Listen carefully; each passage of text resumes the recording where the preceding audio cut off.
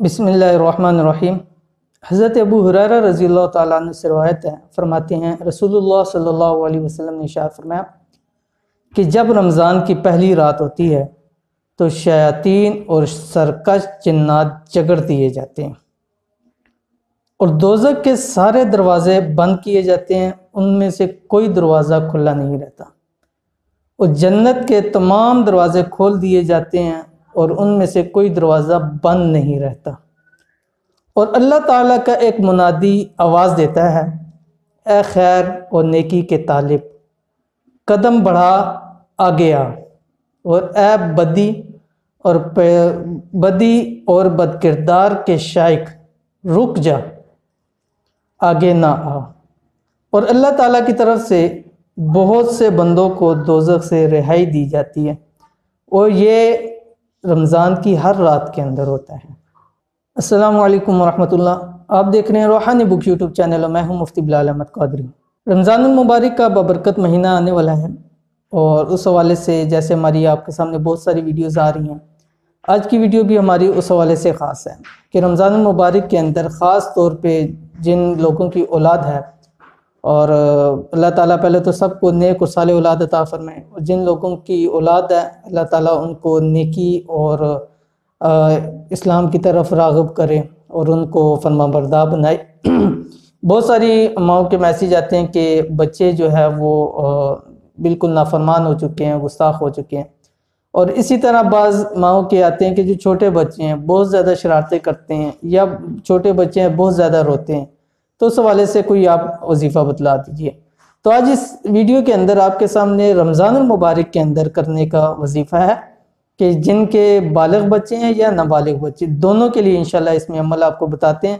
تو انشاءاللہ العزیز رمضان المبارک میں کرے اور اس کی برکت و رحمتوں کی وجہ سے انشاءاللہ اللہ تعالیٰ اپنے فضل و کرم سے آپ کی اولاد کو انشاءاللہ نیک بنائے گا، فرما بردار بنائے گا۔ اور ماں باپ کی قدر کرنے والا اور اسلام پر چلنے والا انشاءاللہ اللہ اللہ تعالیٰ اس کو بنائے گا۔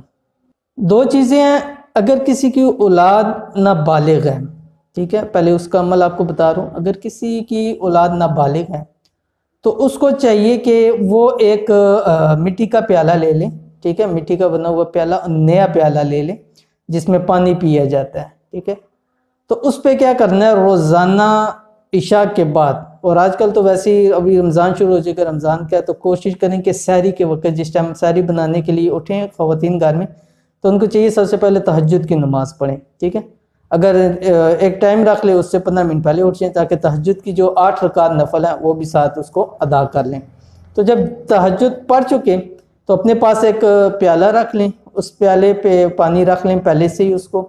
تو جب نماز تہجد پڑھ چکے، تہجد پڑھنے کے بعد مسئلے پہ بیٹھے ہوئے ہی آپ نے ایک سو گیارہ مرتبہ اللہ کا یہ نام یا باسطو، ٹھیک ہے، اللہ کا ایک نام ہے گیارہ مرتبہ یا باسطو۔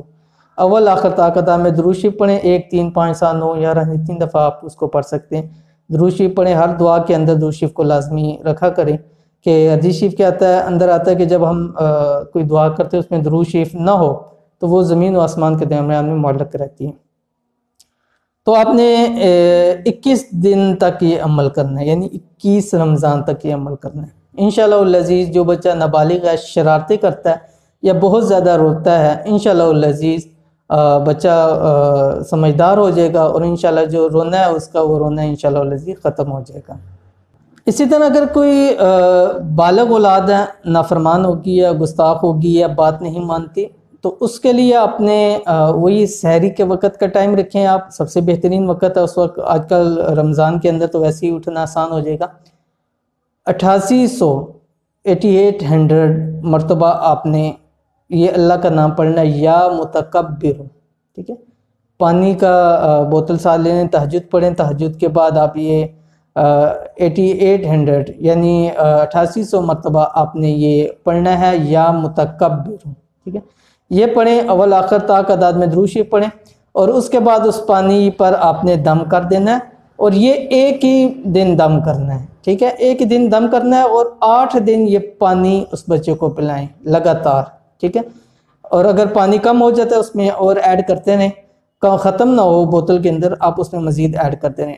ایک ہی دن پڑھنا ہے، اور اس پانی کو آٹھ دن لگاتار چلانا ہے، ٹھیک ہے؟ منگل کے دن شروع نہیں کرنا، اس کے علاوہ کسی بھی دن آپ اس کو شروع کر سکتے ہیں۔ تو انشاءاللہ العزیز اولاد کا رویہ بہتر ہو جائے گا فرما بردار بھی ہو جائیں گے اور ان کی اصلاح بھی ہو جائے گی۔ تو یہ تھی آج کی ویڈیو جس کے اندر ہم نے بتلا دی کہ اولاد کو کیسے نیک بنائیں۔ انشاءاللہ العزیز اس پر ہم کریں۔ ہم بھی دعا گو ہیں کہ اللہ تعالیٰ سب کی اولاد کو نیک اور صالح بنائے۔ تو انشاءاللہ العزیز امید کرتے ہیں آپ کو ویڈیو پسند آئی ہوگی۔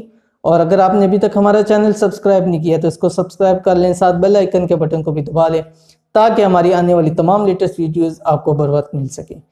انشاءاللہ العزیز ملتے ہیں پھر کسی ویڈیو کے اندر۔ تب تک کے لیے اجازت دیجیے۔ اللہ حافظ۔ Thanks for watching don't forget to like subscribe and share مزید ویڈیو دیکھنے کے لیے ہمارا چینل سبسکرائب کریں۔ گھنٹی کا بٹن دبائیں اور نئی ویڈیو سے باخبر رہیں۔